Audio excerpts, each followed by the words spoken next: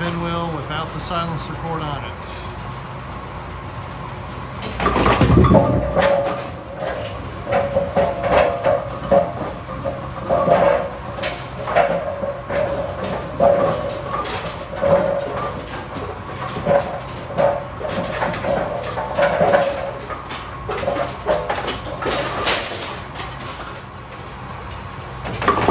Thank